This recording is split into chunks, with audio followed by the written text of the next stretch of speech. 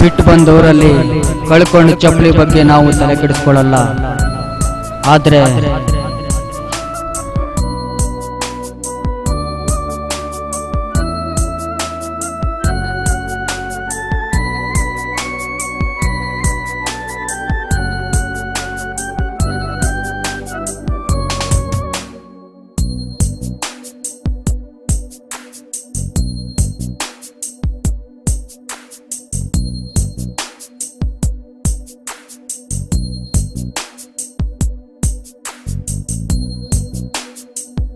ದೇವರು ಪ್ರತಿಯೊಬ್ಬ ಪುರುಷನಿಗೂ ಒಬ್ಬ ಮಹಿಳೆಯನ್ನು ಸೃಷ್ಟಿ ಮಾಡಿರ್ತಾನೆ.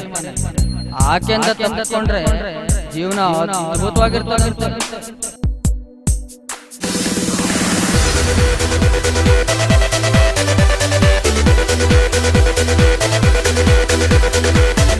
ಕಾಲೇಜ್ ಲೈಫಲ್ಲಿ ಒಂದು ಹುಡುಗಿ ಒಬ್ಬ ಹುಡುಗನ ಬಾಳಲು ಪ್ರವೇಶ ಮಾಡಿದ್ರೆ ಏನೇನಾಗ್ಬೋದು ಅನ್ನೋದಕ್ಕೆ ಚರಿತ್ರೆನೇ ಉತ್ತರ ಹೇಳುತ್ತೆ. ನಾವು ಕಾಣದೇ ಇರೋ ಲೈಫು ನಿಜಕ್ಕೂ ಹೆಂಗಿರತ್ತೆ ಗೊತ್ತಾ?